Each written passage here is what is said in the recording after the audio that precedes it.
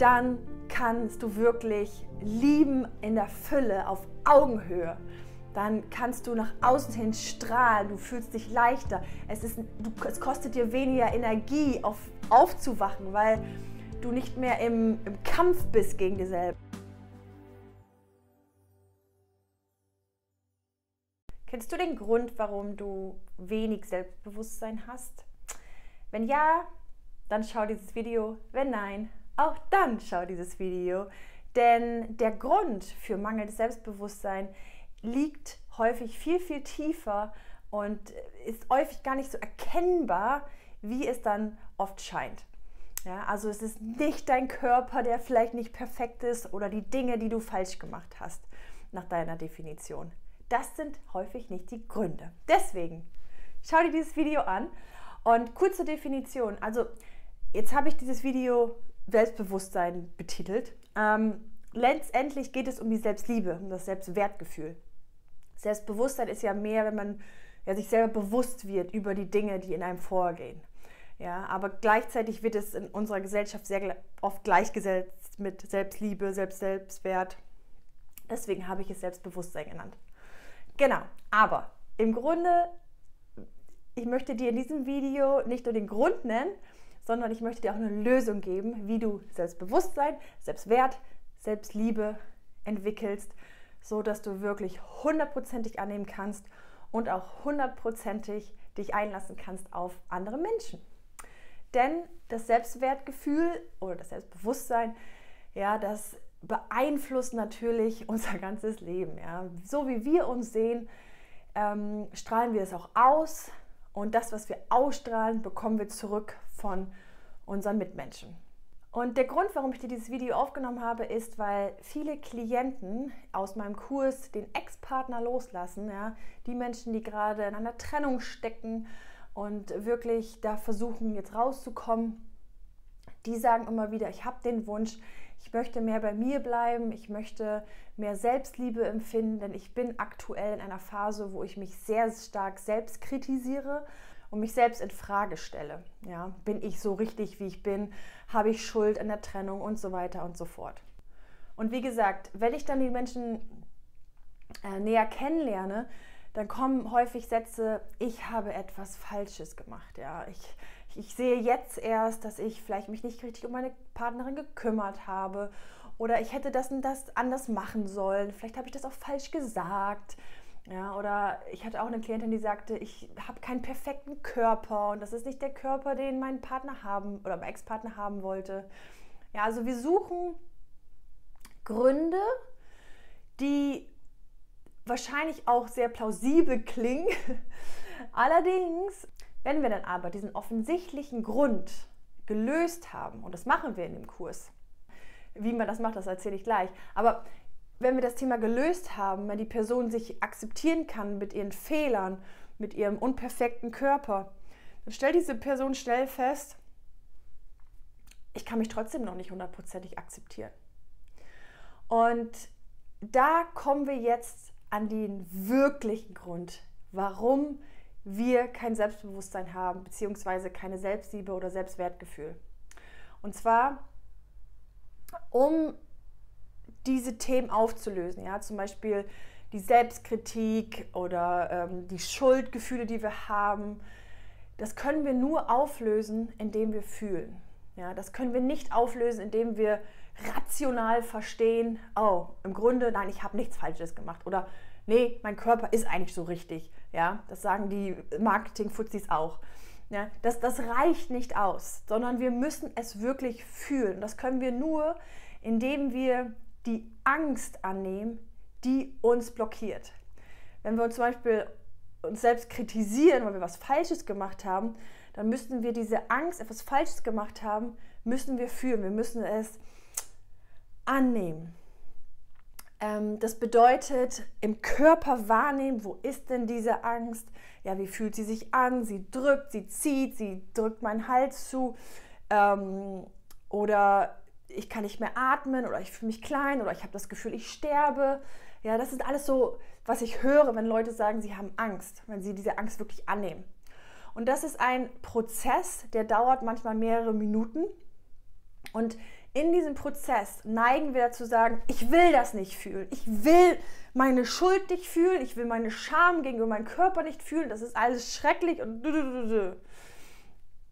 und diese Abwehr gegen die eigenen Emotionen, das ist der Grund, warum du kein Selbstwertgefühl hast, warum du keine Selbstliebe hast oder Selbstbewusstsein hast.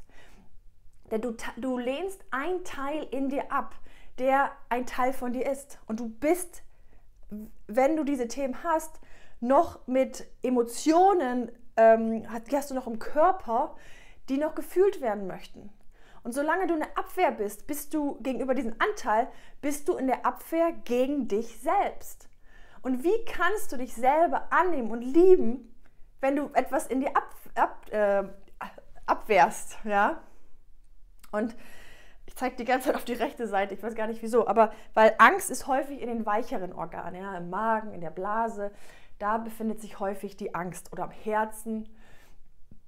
Und ähm, wir fühlen im Grunde in dem Kurs Ex-Partner loslassen, aber auch in den Hypnosen, da gehen wir gemeinsam durch diese Emotionen.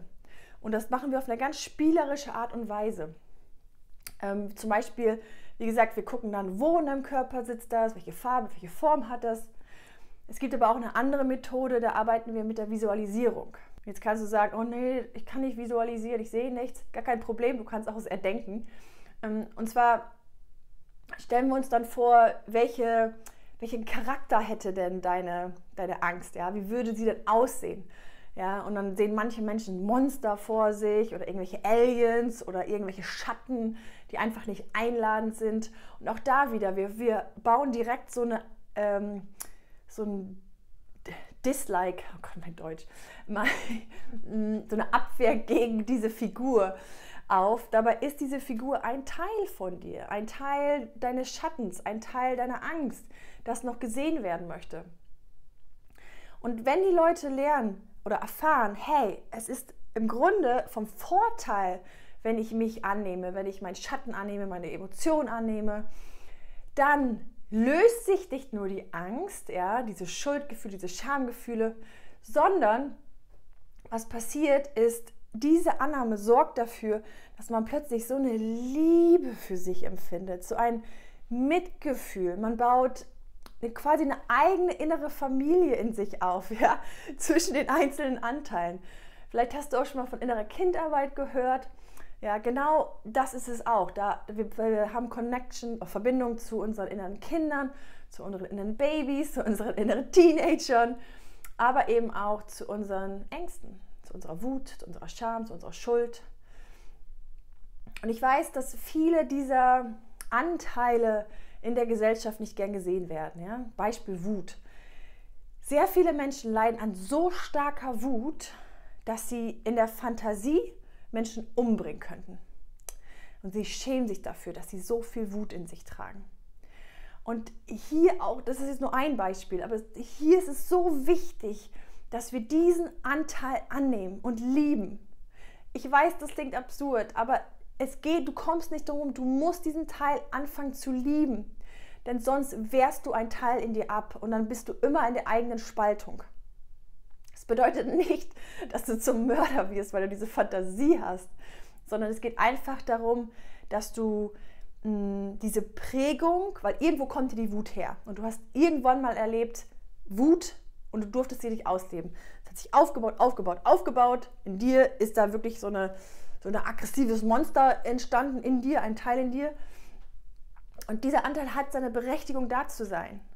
Aber wenn wir ihn abwehren, sagen wir, nein, du hast zwar gelitten und du, du bist aus einem Grund entstanden, du Wut, aber ich will dich nicht. Ja, ja. ich wiederhole mich.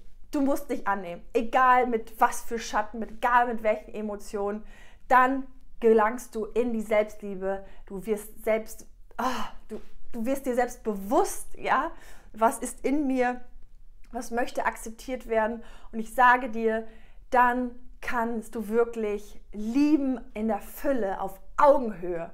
Dann kannst du nach außen hin strahlen, du fühlst dich leichter. Es, ist, du, es kostet dir weniger Energie, auf, aufzuwachen, weil du nicht mehr im, im Kampf bist gegen dir selber, wenn du die ganze Zeit im Kampf mit dir bist, ich will diese Wut nicht fühlen, ich will diese Angst nicht fühlen, ich schäme mich für mich, ja, das kostet Energie.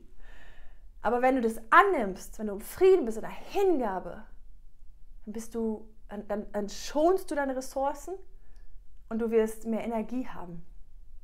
Also es hat so viele Vorteile und die Annahme muss nicht schwer sein.